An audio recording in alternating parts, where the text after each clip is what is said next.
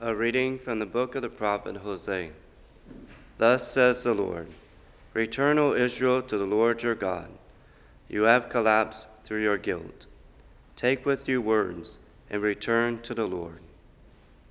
Say to him, Forgive all iniquity, and receive what is good, that we may render as offerings the bullocks from our stalls. Assyria will not save us, nor shall we have horses to mount. We shall say no more, Our God, to the work of our hands, for in you the orphan finds compassion. I will heal their defections, says the Lord. I will love them freely, for my wrath is turned away from them. I will be, I will be like the dew for Israel. He shall blossom like the lily. He shall strike root like the Lebanon cedar, and put forth his shoots. His splendor shall be like the olive tree, and his fragrance like the Lebanon cedar.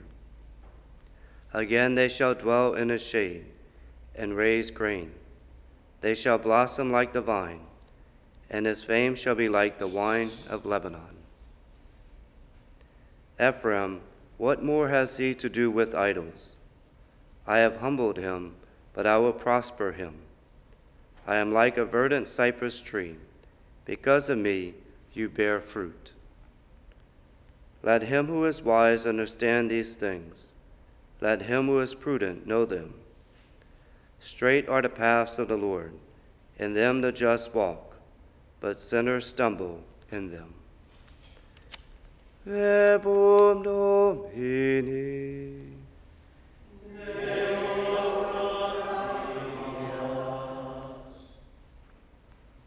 I am the Lord your God, hear my voice.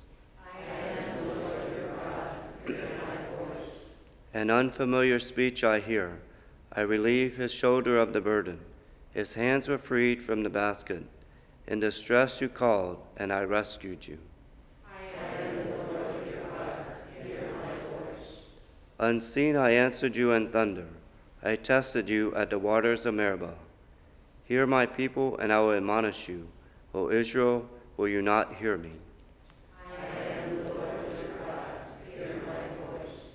There shall be no strange God among you, nor shall you worship an alien God. I, the Lord, am your God, who led you forth from the land of Egypt. If only my people would hear me, and Israel walk in my ways, I would feed them with the best of wheat, and with honey from the rock I would fill them.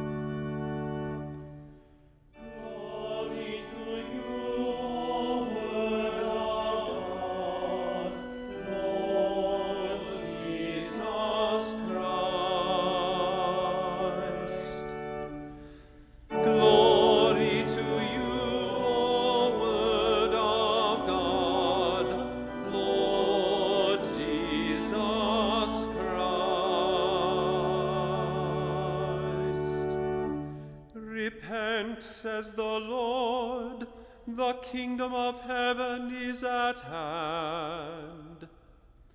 Glory to you, O Word of God, Lord Jesus Christ.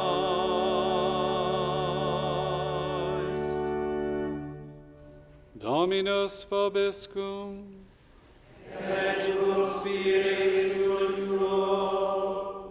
Lectio Sancti Evangelii secundum Marcum. Gloria tibi, Domine. One of the scribes came to Jesus and asked him, Which is the first of all the commandments? Jesus replied, The first is this Hear, O Israel, the Lord our God is Lord alone. You shall love the Lord your God with all your heart, with all your soul, with all your mind, and with all your strength. The second is this You shall love your neighbor as yourself. There is no other commandment greater than these. The scribe said to him, Well said, teacher. You are right in saying, He is one, and there is no other than He. And to love Him with all your heart, with all your understanding, with all your strength, and to love your neighbor as yourself is worth more than all burnt offerings and sacrifices. And when Jesus saw that he answered with understanding, he said to him, You are not far from the kingdom of God. And no one dared to ask him any more questions. Verbum Domini. Laus tibi Christe.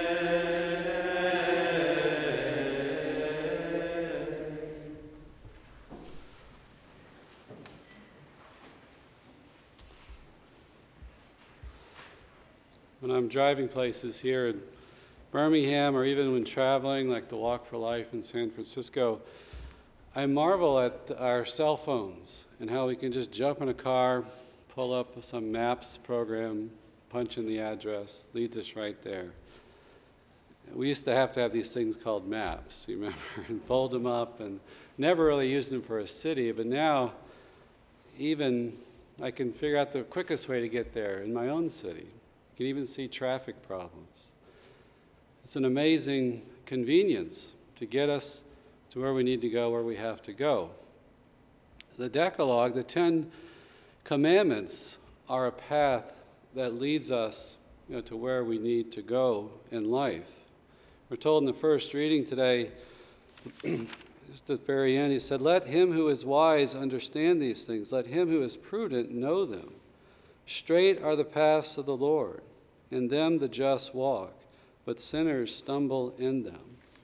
Straight are the paths of the Lord. If we live by his teaching and his law, we have the best way, the clearest way, the surest way of getting to our destination. And when the Ten Commandments are given in the Old Testament, they begin with saying in Exodus, I am the Lord your God who brought you out of the land of Egypt, out of the house of bondage. That's reminding them who God is. He's the one God, the true God, none of these other pagan gods. But He is the God that liberates us, brings us out of slavery, out of bondage. They were being led out of the bondage of Egypt, but we are in a more oppressive totalitarian dictatorship with sin. Much worse bondage than physical uh, bondage, even. And these Ten Commandments that God reveals to his people is a path to freedom, is a path to human life flourishing, it's a path to how to live life in the fullness.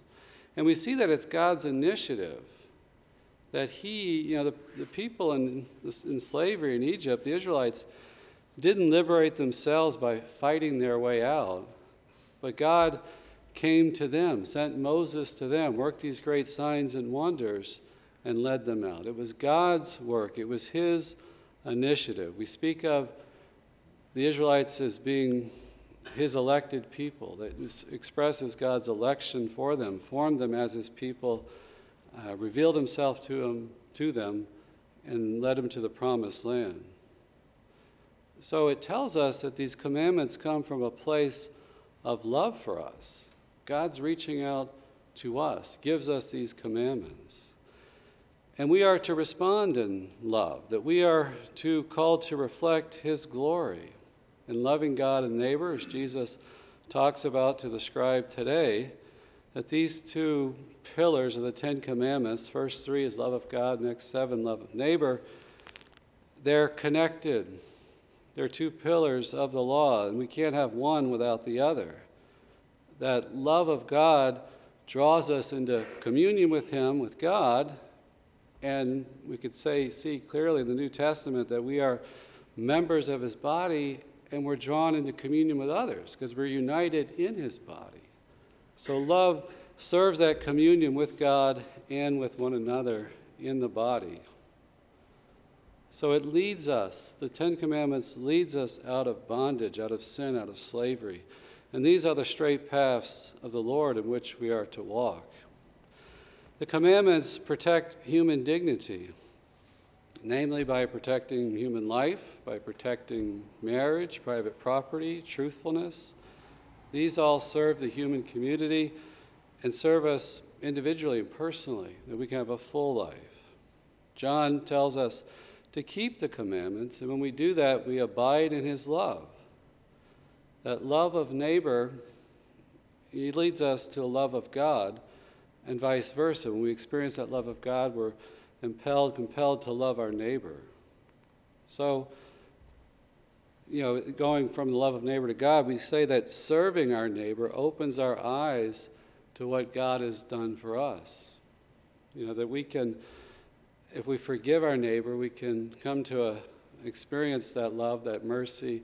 We can come to a deeper experience of God's forgiveness for us as well. So the commandments are the basic conditions for the love of neighbor, what's required uh, for love of God and neighbor, and proof of our love for neighbor and the Lord. It's a first necessary step towards freedom from sin.